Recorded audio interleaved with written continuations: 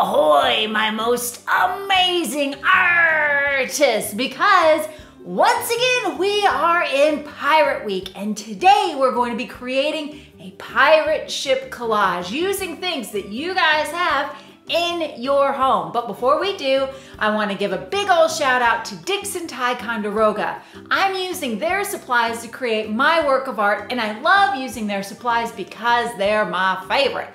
They're the best things that I could find to use to make piratey masterpieces with you. Before we get rolling though, let's go ahead and say our art class catchphrase. I make messes. I make mistakes. But deep inside, I got what it takes. I am an artist. I thought it would be great to have Ali Gator come back and join us and tell us exactly what supplies we're going to need for today's piratey collage. Here to share with us the supplies we'll be using today is our buddy Ali Gator. Allie, do you want to tell us what supplies we're using today? Sure, but before I do, I thought I'd share a little joke with you. Oh, awesome! Yes, let's hear it. What's a pirate's favorite kind of food? Oh, jeez, I don't know. Lasagna? Really? I, don't, I love lasagna. Seriously, lasagna is just spaghetti cake. Oh my gosh, you're right. No! A pirate's favorite food is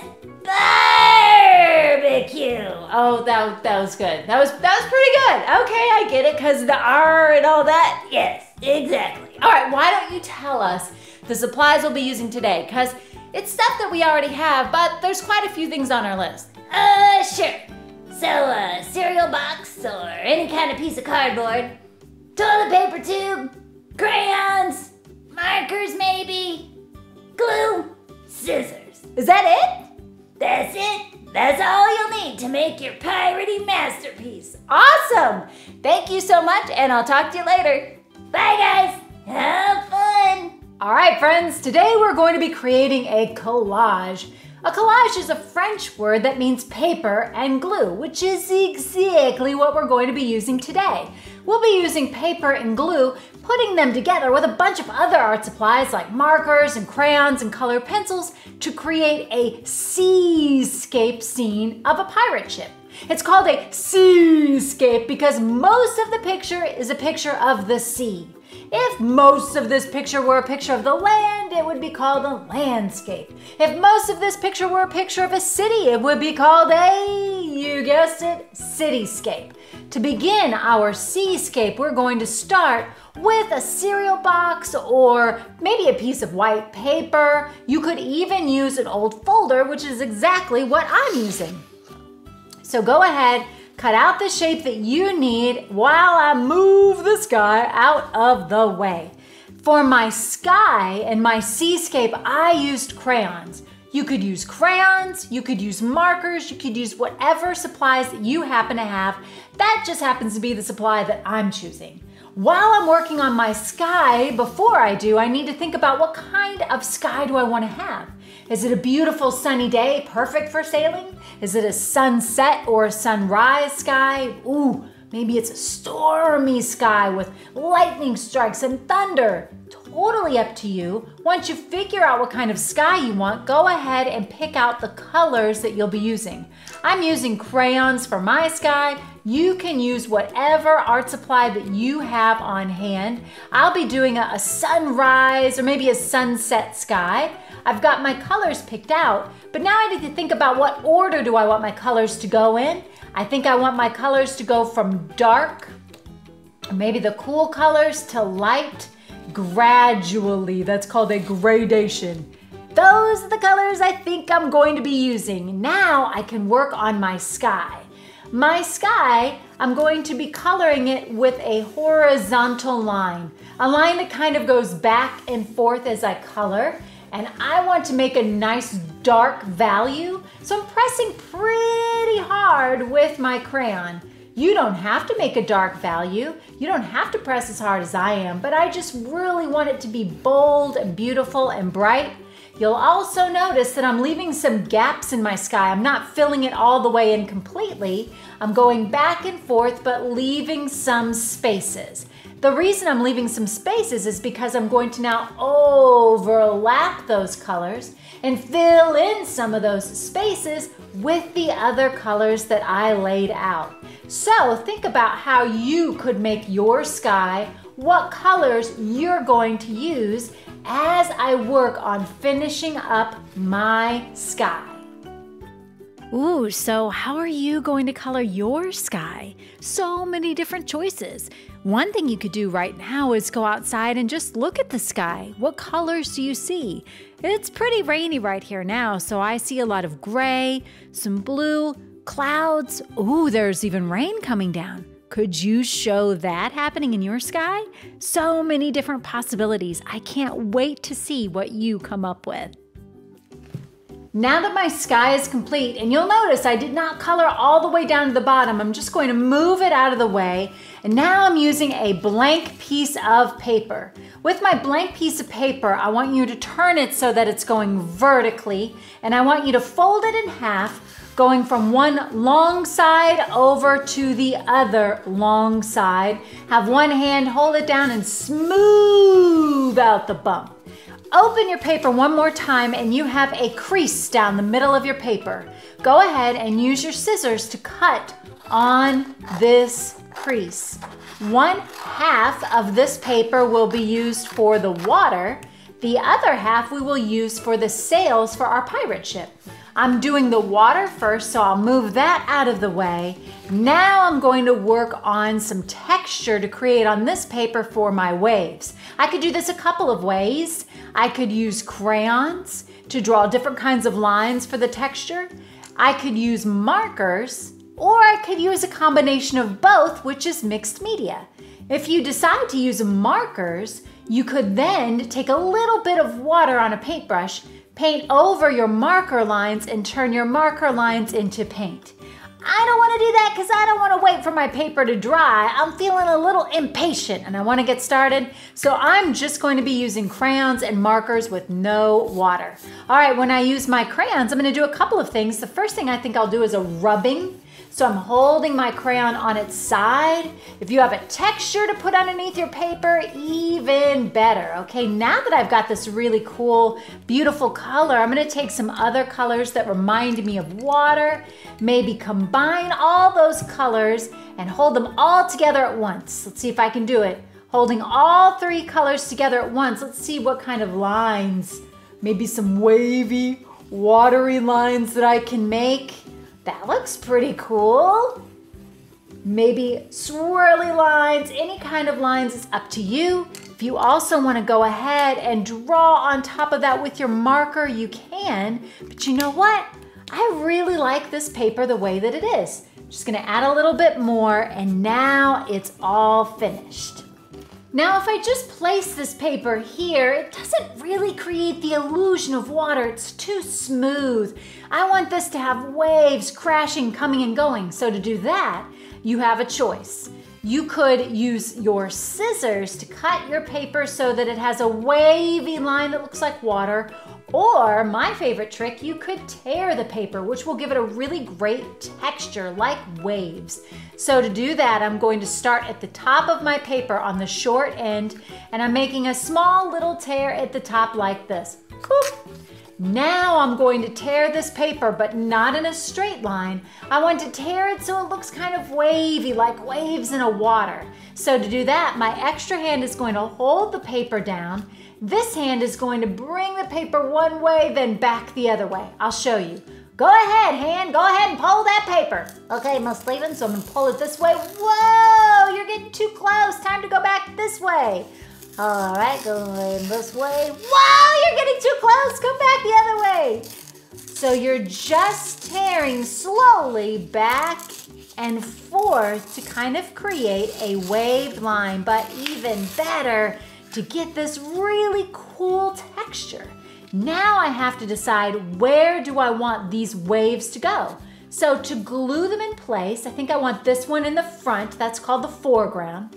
I think I want this one in the middle, that's called the middle ground, then maybe my sky is in the back or the background. So I think what I'm going to do next is start to glue. When I glue my papers in place, I'm only using a dot, not a lot, and notice where I put my glue. I only put it along the straight line. So now I'm going to make the two straight lines match up. And my paper's a little bit longer than my background, and that's okay. When my paper dries, I'll just use my scissors to give it a little bit of a trim. My hands are massaging the glue to get it to have enough grab time so it really stays in place. Now I need to glue this paper that's in the middle or background. But I don't want any of this cardboard back here to show. So when I glue it down, I can't glue it like this. I can't glue it like that. I'm gonna glue it so that it's just like that. And I'm doing the same thing with my glue. Just a dot, not a lot, only on my straight edge. The reason I'm only wanting it on my straight edge is because I like my waves to look like they're popping out. I also want to be able to have a place to put my boat or my pirate ship in. Okay, I think I'm ready to work on my pirate ship. Now for your pirate ship, you could use any old piece of cardboard, but if you're like me, you probably have some toilet paper tubes laying around. So your first step will be to take your toilet paper tube and cut it in a straight line just like that to kind of open it up a bit. And now you have this really nice piece of cardboard to make your ship. The only problem is it wants to keep bouncing back into place. So to get it to lie kind of flat, you need to bend it a little in the opposite direction Give it a little massage. It's gonna bend the cardboard up a little bit, but you know what? That's perfect because now it'll look lumpy and bumpy and kind of old like a pirate ship. I'm going to use a brown crayon, I'm using a black crayon to give this paper a bit of a rubbing, to give it some more texture. Texture is one of our elements of art that we love to incorporate into our masterpieces. I'm gonna maybe even include some lawns, lawns, lawns, lawns to show that this ship is made out of wood. Maybe I can even use my black too. Now to create this into a ship. There's all sorts of different ways that you can cut this tube into a ship shape. But for me, I'm gonna keep it very simple. I'm going to make a big curve like a letter U. This big curve like a letter U stretches from one side, touches the bottom of my cardboard, goes to the other side. Once you've got that drawn, go ahead and cut it out.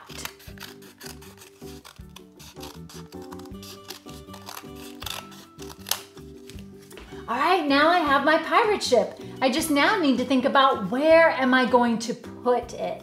Let's see, it could go right here behind these waves. It could be floating back here. Maybe, ooh, I kind of like the idea of it riding on a wave like this. That looks pretty cool. Let's see, can I scoot it over a little bit? There we go. I like the way that looks. So decide where would be a good place for, oh, but that looks pretty good too. Before, once you have it figured out, you're going to be putting glue around the edges. Now, the only problem is, is that this cardboard doesn't necessarily want to stick. So you will have to hold it in place for a little while, give that glue enough grab time. If you want to, you could always just put something heavy on top of it like that to let the glue grab or you can have your other hand just kind of sit and hold it in place. While you're doing that, we can work on the masts for your pirate ship. So starting in, in, the middle of this line, I'm going to make a tall line that goes all the way up almost to the top of my paper. That's one of my masts where my sail will go. Maybe I can even put a little circle right there to show where it ends. I could put another mast here. Maybe it's not quite as tall. A good idea might be to look at some ships online and see what they look like. Look at some different pirate ships. And maybe I'll have a diagonal line coming away like that. That can be where my pirate's flag is. Okay, let's see if my cardboard is now glued down.